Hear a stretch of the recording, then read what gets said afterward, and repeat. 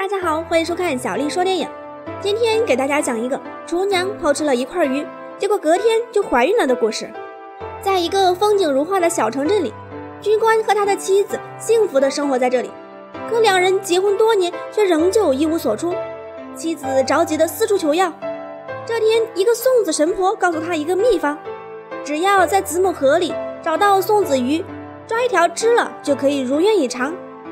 可军官丈夫却对此不以为然，奈何架不住妻子的夺命连环扣，随即派出一队士兵前往一探究竟。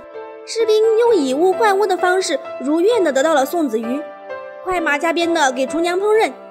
可贪心的厨娘却自己偷偷吃了一块，还顺道将鱼骨头丢给了自家猫咪。结果第二天，厨娘、女猫以及军官妻子全都怀孕了。很快，军官老来得女，取名小花。厨娘生下一个男孩，取名小白。岁月如梭，转眼间两个孩子都出了成人了。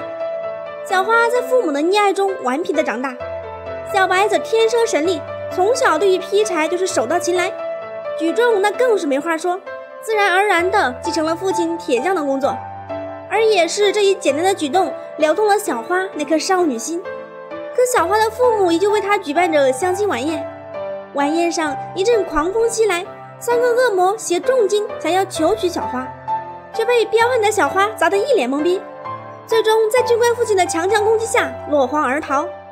可三魔却并不甘心，一经商议，他们一人跳到空中，将月亮藏在了怀里，一人将星星藏在了口袋里，最后一个更神奇，直接原地拉伸，将太阳藏在了裤裆里。这恶魔不愧是恶魔，连藏太阳都这么与众不同。就这样，小镇失去了光明。军官看着陷入黑暗的小镇，随即下令：谁可以恢复光明，我就将女儿嫁给他。看着貌美的公主，在聪明猫的帮助下，小白勇敢地站了出来，而后带着聪明猫，扛着大木桶，雄赳赳、气昂昂地出发了。到达目的地后，他掰断一块木板，恶魔老大出现在他眼前，两人一言不合，恶魔便化身一团烈火，想要烧死小白。聪明猫也差点遭了殃。小白举起木桶就化解了危机，真是 so easy。就这样，月亮重回了天上。老二一看，那是气不打一处来呀，奈何智商不在线，被小白忽悠的化作石头撞在了石头上。就这样，星星也去陪伴月亮了。接着，小白又召唤了老三，这老三还是有些实力的，毕竟是能把太阳藏在裤裆里的人。